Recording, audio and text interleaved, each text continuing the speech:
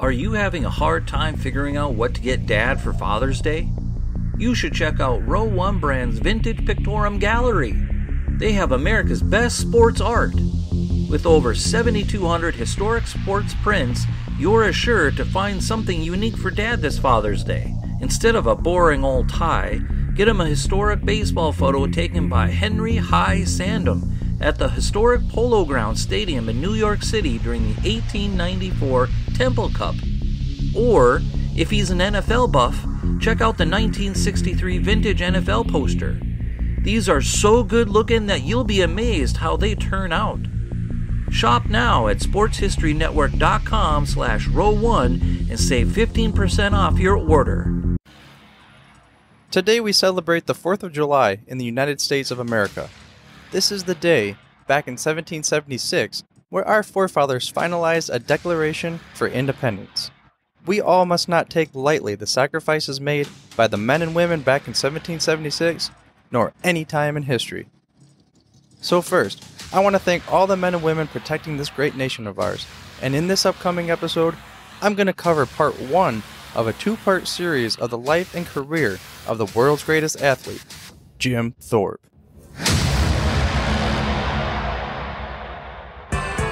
Welcome to the Football History Dude podcast, where each episode is a journey back in time to learn about the rich history of the NFL. Your host is Arnie Chapman. Football is his passion, and he wants you to come along with him to explore the yesteryear of the gridiron. So hop on board his DeLorean and let's get this baby up to 88 miles per hour. This time, as we step off our DeLorean, the date is June 25th, 1876, which is basically a hundred years after the Declaration of Independence, and we are in Little Bighorn Valley.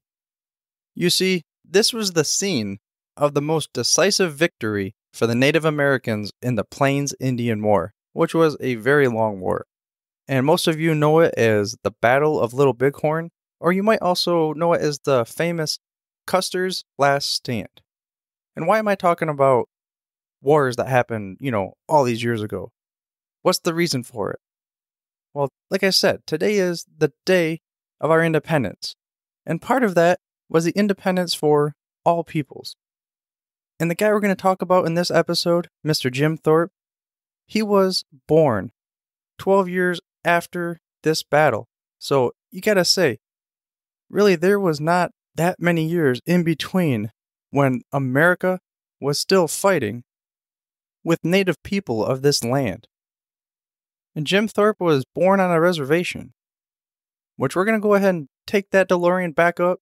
We're going to go to May 28th, 1888, and we are in Prague, which is present day Oklahoma.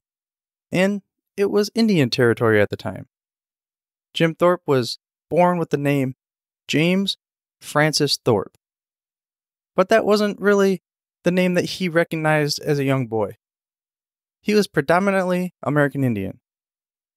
And this came from his mother's side, whom was a descendant of the last great Sauk and Fox chief, Black Hawk. According to the ESPN Classic video that I saw, and I'm going to provide links to you, when a Native American mother would have a baby, she would name the baby after the first thing that she saw.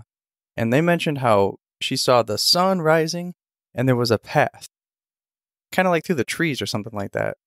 So what she named him was Wa Thohuk, which translated into bright path. And Jim Thorpe would have, uh, let's just say his name Bright Path was an understatement. And Jim would go on to have one of those, you know, once in a millennia type of careers where just no other person could ever rival him. And he was Native American. And like I said, we had that that war going on and there wasn't a whole lot of getting along back in 1876, as there wasn't back in 1888 when he was born, which, like I said, he was born on a reservation. And this is going to be where we start the uh, journey of Jim Thorpe and what turned him from some American Indian on a reservation into what would become the world's greatest athlete. The first major adversity that Jim had to deal with was he had a twin brother, and at the age of eight, his twin brother passed away, and he was like one of his best friends. then six years later, his mother passed away. So Jim was this kind of, you know, kid that kind of lo- losing his way, doesn't quite understand what's going on in the world. They they spoke in the video how he still had that I'm running with the, my feet and my heart to the ground, and I'm just my beat and my path and my warrior self inside of me. And then they were trying to put him into these schools, kind of forcing him to try to lose sight of his Native American heritage. So he was conflicted. And they said that when he would go into schools, he would just run away. And his partial Irish father just couldn't understand what was going on. He just didn't want to deal with it anymore. So what ended up happening was his father sent him away, finally, to a federally funded Carlisle Industrial Indian School in Pennsylvania in 1904.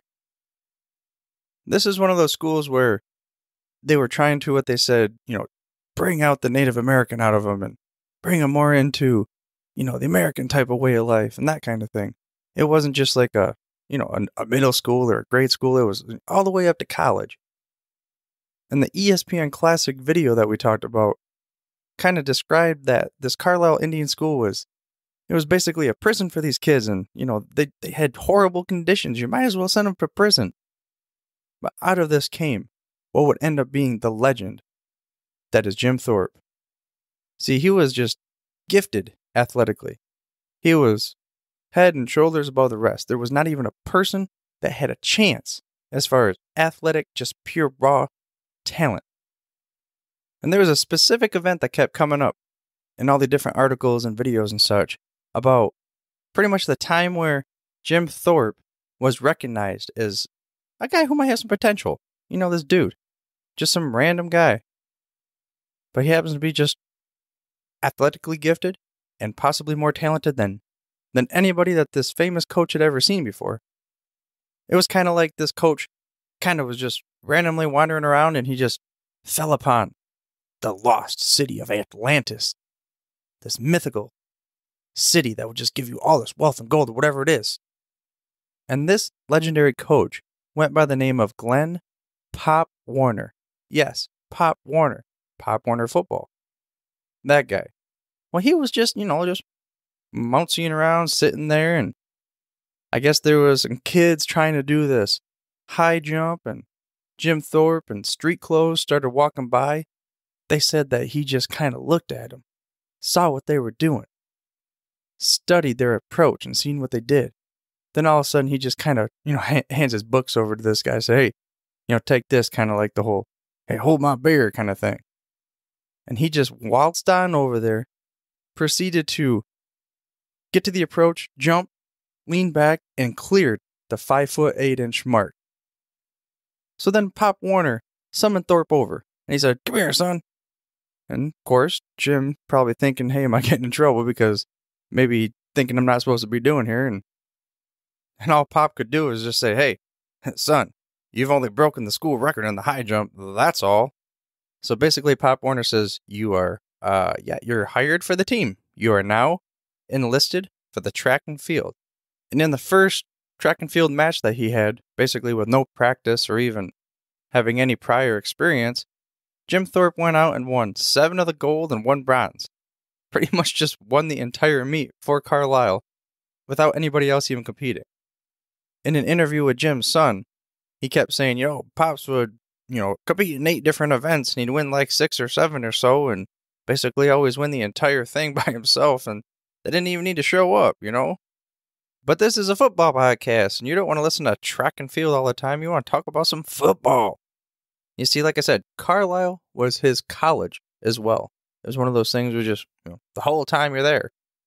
But Pop Warner didn't want him to play football because he knew that he had this star, the guy who could basically win every track meet by himself. But finally, he would give in. So I guess one day he said, uh, you know, here, here's the Duke, here's the football, man. You take that ball, try to run through those guys, and we'll see what you got. So then Jim Thorpe proceeds to pop that ball in his. I don't know if he was right handed or left handed. Probably figure that out. But he would pop that ball in his arm, and he would end up running over the entire team. So then Pop stops the practice. You know, he was beside himself. He said, How did that guy who had never played football run through my entire defense. He proceeded to take those guys on the sidelines, ripped them a new one, said, you know, all up and down the scene, said, you know what? This is a dude who had never played football in his entire life, and you're going to let him run through all of you? I am disappointed. Now you better step up, ship up, and you're going to stop this guy. So, Pop decides to give him the ball again. Jim Thorpe proceeds to just stomp over everybody in his way elbows, stiff arms, spins, stomp, splash, run, go. Gets through the entire defense all by himself. So then Pop said, Well, I guess you're on the team then. And he would end up having an illustrious college career. But one of his best games came against Harvard. You know, Carlisle, a little school, Harvard, a dominant powerhouse, who actually ended up winning the championship in a specific year I'm about to talk about. But they had to go through Carlisle. And Carlisle was the only team that ended up beating him. And he ran for 173 yards, kicked four field goals, and the last one was a 48 yard field goal for the win. And he did all of this on a swollen ankle. Like I said, he was just by far and way, the best athlete on the field at any given point in time. But he also had kind of like a bad reputation. You know, like a guy who was just some tough, just, you know, I grew up on a reservation and I had some problems and I don't feel like dealing with you, so I'm just going to take all my aggression and anger out on you. Better get out of the way. And here's a quote from his son from that ESPN Classic video. It went as such These guys would come charging in on dad, and dad would just drop the ball and kick anybody that came close to him. So he put some of these guys in the hospital, and he had such a bad reputation for that that nobody wanted to charge in on him. End quote. His biggest college season ended up happening after he came back from the Olympics, where he would lead Carlisle to a 12 1 and 1 record, where he had 1,860 rushing yards on 191 attempts. For some reason, the Smithsonian article that I was reading said that two of these games that Thorpe played in, they didn't even include. So it's possible that he was the first ever 2,000 yard rusher in college, which also would have been just first 2,000 yard rusher, period. But he also had 25 touchdowns, 198 points scored for the Carlisle Indians that year. So again, of course, he was an All American. And all teams wanted Carlisle on their schedule because Jim Thorpe, he would bring the crowds, he would bring the money, he would make college football just continue to grow ever so more. But that is not what he was most famous for at this time. Like I said, he had this season after he came back from the Olympics. You're like, Olympics? What are you talking about here? This is a football podcast. Like I said, remember he was a track and field, kind of like guru juggernaut? Well, that is, uh, let's say, the beginning of a good way to explain what he truly was when it came to Olympic track and field. For it was at the Olympics where Jim Thorpe would rise to become a world renowned international sports superstar. But before we get into the event that made Jim Thorpe go from a standout football player at a small college to the world's greatest athlete, I want to remind you to head to thefootballhistorydude.com slash episode 12 for the show notes. And to mash that little subscribe button on your favorite podcast player of choice to make sure you get the freshest, hottest off the press episodes each and every week. But now we're going to take the DeLorean over to May of 1912. And see, this is when the Olympic trials were being held in New York City. So basically, the story goes Jim Thorpe went to these Olympic trials. He proceeded to win three of the five pentathlon events, and they told him, hey, you, you don't even have to do these trials anymore. You're in. And that ESPN Classic video, the guy said that, you know, it's possible he was one of the only guys, if not the only guy, in the history of American Olympics to not even have to go through the trials because he was just that much better than everybody. They're like, oh, we don't want to waste your time, guy. So they sent him on his way. I mean, normally they were recruiting from colleges, which, you know, because at the time it was a little bit different where it was pretty much just the wealthy families would be able to afford to take their kids and put them in college. So you're talking about these, you know, pressy pants and you know, always been giving everything to them kind of kids and, you know, the upper class of society and I'm holding my cup with my little finger in the air and that kind of thing. But Jim Thorpe was not one of these guys. He was just a tough, kind of came from a poor background, like I said, on a reservation, you know, running through the forest. And I got my heart pumping with the ground and the earth, and I'm just running through, and I am wild and free. I'm not like one of these guys. So yeah, he was a little different. But part of the different was, you know what, he's just better than you. Physically talented and gifted, more dominant at any kind of sport you want to put him in. Physically, he is the alpha. Let's go with that. He was the alpha physical specimen. So they said, dude, don't even bother showing up. Just get on that boat and you're going to go over to Stockholm for the 1912 Olympics. And at the time, the Olympics were kind of more of a European thing. They weren't super popular in the States yet. But I think Jim's going to have a little bit to say about that. You see, even on the boat on the way over, there was an account where Mike Murphy found Jim in a hammock and he was just sitting there. I guess he had his eyes closed. And Mike's like, uh, dude, what are you doing here? And he says, I'm just watching myself. I just cleared this vertical jump or this high jump or whatever it was. And he's just closing his eyes and envisioning it, which, you know, later on we call visualization and that kind of thing. But he was doing it back then when it wasn't a thing. He had the it factor. He knew what was going on. And when he arrived in Stockholm, he was 5 foot 11, 185 pounds, but he had like this neck like a linebacker. And they said when he would walk through the field, he would just, you know, puff his chest out and he was just looked like he was a monster, you know, like a like a minotaur or something like that, half horse, half man. They even called Jim the horse. You know, he was an exotic looking American Indian, so he caught the eye of the Swedish fans. So they all started to come watch him compete. You know, they got to see this horse, like I'm calling the Minotaur, half horse, half man. And he is just going to stampede on the competition. But he had never competed in a decathlon in his entire life.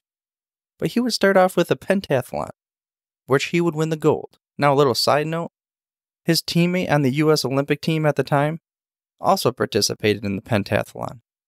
And that guy went by the name of George S. Patton. Yes, that's right. It was General George S. Patton, one of the greatest military generals that this country ever produced. And he was on the boat. In fact, he was a teammate of Jim Thorpe, and they would compete together in the pentathlon. So after Jim wins the gold in the pentathlon, he's all like, There ain't no rest for the wicked, man. I'm getting right back on the horse and I'm going to go ahead and I'm going to win that decathlon. Well, I mean, at the time we didn't know, but he had the confidence. You know what's coming on. The first event, he wins 100 meters. The second event, he wins the shot put. And he dominated. So basically, by the fourth event out of 10, it was like pretty much over. And there was a quote from Frank Zarnowski, the author of The Decathlon. And it went as such He dominated the first event in the decathlon, which was the 100 meters. His shot put was better than anyone else's in the field. So by the time you get to the fourth event, it was pretty much over.